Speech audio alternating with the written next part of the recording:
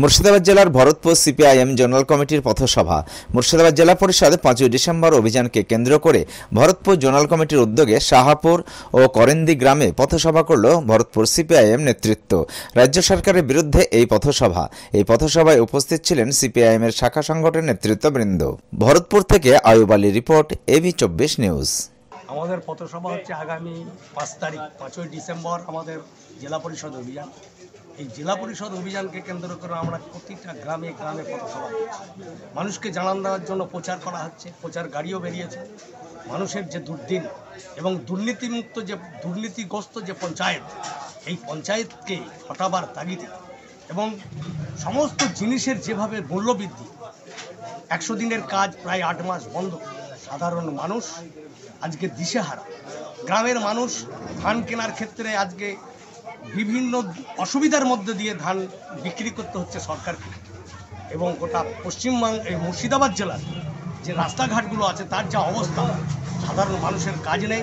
মানুষ রাস্তায় দাঁড়িয়ে আজকে দুর্বিষহ জীবন যন্ত্রণা অনুভব করছে। সুতরাং এই জায়গা থেকে দাঁড়িয়ে একে নিষ্কৃতি পাওয়ার জন্য, এদেরকে মুক্ত করার জন্য আমাদের এই লড়াই চলছে। এবং চাকরি চুরি থেকে শুরু করে, একবারে আমাদের ঘরের ছেলে যারা লেখাপড়া শিখেছে তারা আজকে কিন্তু অসহায় অবস্থায় আছে।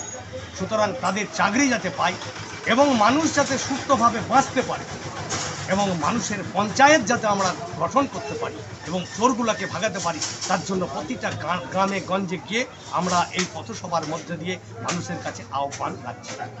আপনার নাম? সজীব সাহা সাধারণ সম্পাদক ভারতের communist party মার্ক্সবাদী Bharatpur area committee. AHM engineering consultancy and construction সাত বছরের অভিজ্ঞতা সম্পন্ন ইঞ্জিনিয়ার আনোয়ার হোসেন মালিত্তা, ঠিকানা আমতলা নিমতলা মোড় নদা, মুর্শিদাবাদ।